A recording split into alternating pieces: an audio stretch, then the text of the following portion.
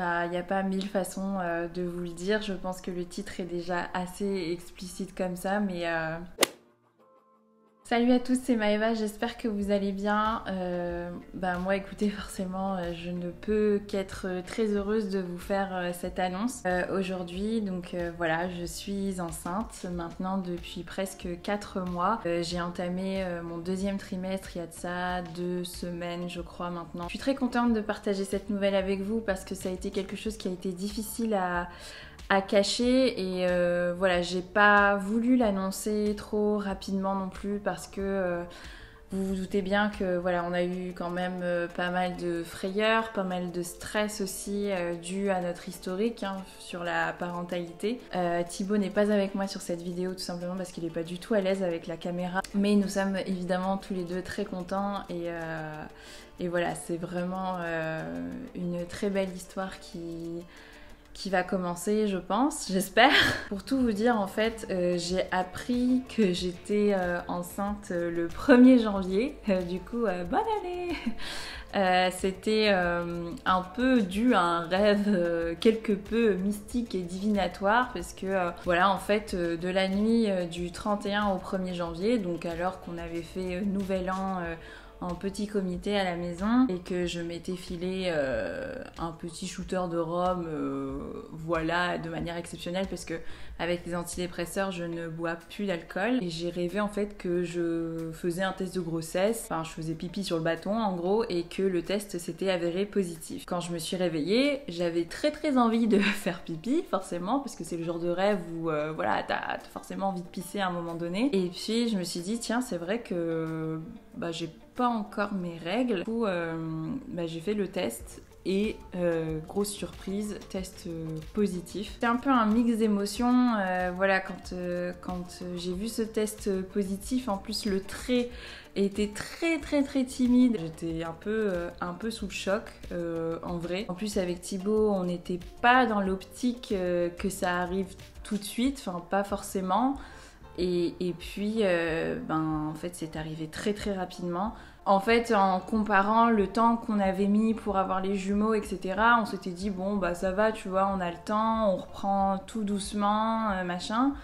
Et puis, bah en fait, euh, premier, premier mois, euh, et puis voilà, quoi, c'est arrivé. C'était très, très inattendu et du coup très flippant. Ça a été trois mois très stressants parce que bah, forcément, on n'a pas du tout la même innocence, la même insouciance que quand on fait une première grossesse euh, voilà, qui, qui, se passe, euh, qui se passe bien.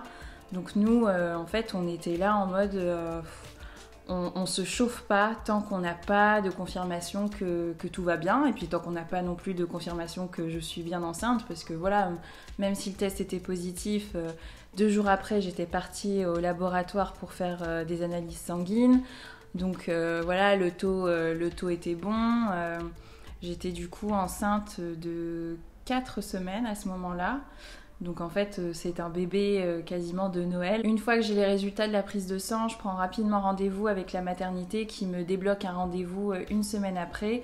Et l'idée c'était du coup de faire ce qu'on appelle une échographie de localisation. C'est un examen qu'on fait après avoir fait une grossesse extra-utérine, donc c'est vraiment pour bien situer où se trouve le sac gestationnel et savoir aussi si l'embryon l'embryon est bien accroché. Donc euh, comme j'avais fait une fausse couche et j'avais aussi fait une grossesse extra-utérine, euh, du coup voilà, c'était l'échographie un peu une pierre de coups. Déjà, ça a été gros soulagement quand on a fait cette première échographie. Après, forcément, bah, je vous mens pas. Ce serait mentir de dire que après ça, j'ai été euh, extrêmement sereine parce que c'était pas du tout le cas. finalement, on sait pas trop ce qui se passe à l'intérieur de notre ventre, on sait pas trop où est-ce que ça en est, malgré le fait qu'aujourd'hui il y a des applications qui te montrent euh, euh, quelle taille fait l'embryon, etc. Bah, on sait pas trop ce qui se passe finalement, et puis on n'a pas de certitude, et puis c'est pas comme si on pouvait faire des échographies toutes les semaines. Donc, puis est arrivée l'échographie du premier trimestre et et là, ça a été le vrai soulagement. Euh, puisque voilà l'échographie était parfaite, le bébé était en très bonne santé, Euh, il est euh, tout à fait, euh, comme on dit, dans les normes. Donc voilà, tout va bien. Je, suis extrêmement, extrêmement contente.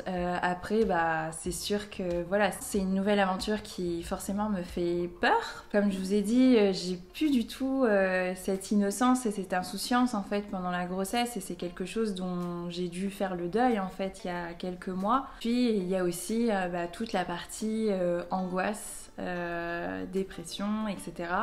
Donc euh, je rassure euh, tout de suite la majorité d'entre vous parce que je sais que c'est une question que vous allez vous poser.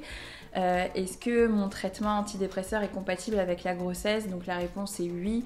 Tout avait été prévu notamment par, par mon médecin et ça a été confirmé du coup ensuite par un psychiatre. Euh, mon traitement est totalement adapté et, totalement sans danger pour la grossesse et donc pour le bébé. Donc euh, là-dessus, euh, tout va bien, je peux continuer mon traitement sans souci. On avait du coup évoqué un potentiel sevrage, mais voilà, je me sens pas forcément prête. Et puis après discussion du coup avec le corps médical qui me suit, on a décidé de, poursuivre le traitement. Ça, c'est quelque chose que j'ai beaucoup apprécié de la part euh, euh, de ma psychologue et même de mon médecin traitant qui m'avait dit euh, que si on envisageait de refaire un bébé avec Thibaut, qu'il fallait pas que je culpabilise justement par rapport à la maladie. Euh, parce que euh, bah, malheureusement c'est une maladie euh, sur le long terme encore une fois et donc si on a envie d'avoir un enfant on va pas forcément attendre en fait que je sois totalement guérie et c'est pas parce que moi je suis passée par un épisode dépressif que mon enfant passera forcément par un, épisode dépressif voilà après c'est sûr que bah, forcément les humeurs fluctuent aussi avec les hormones etc mais en tout cas, voilà, tout se passe bien. Donc on est vraiment très très content et, euh, et euh, je serais hyper ravie de partager euh, cette aventure avec vous, que ce soit sur les réseaux sociaux ou sur YouTube évidemment. Je vais pas m'attarder davantage sur, sur tout ça. Il ne me reste plus qu'à vous souhaiter une belle journée ou une bonne soirée. Je vous embrasse très fort, de la joie et de l'amour. À très bientôt.